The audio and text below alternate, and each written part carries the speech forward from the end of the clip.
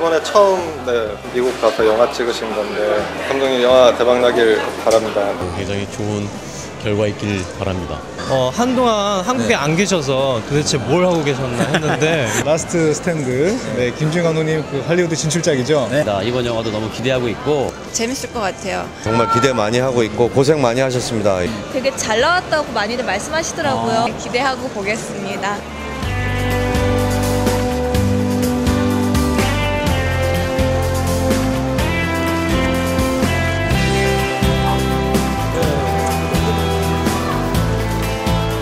재밌을 거라고 예상은 했는데 그 예상보다 몇 배 더 재밌네. 진짜 재밌네요. 그 김지훈 감독님 특유의 유머하고 액션을 기다리시는 분들은 진짜 재밌을 거예요. 신나는 액션과 또 너무 웃기는 코미디 또 가슴 뭉클한 감동까지 진짜 너무 최고였어요. 꼭 보세요. 정말 고생하셨겠더라고요. 정말 재밌게 봤습니다. 심장이 아팠어요. 가슴 졸이면서 계속 봤고. 딱 김지훈 감독님 영화입니다. 재밌고 액션은 좀 더 화려해졌고 촌철살인의 유머. 어, 예전에 그 헐리우드 영화 보면서 사실은 많은 열등감을 가했잖아요.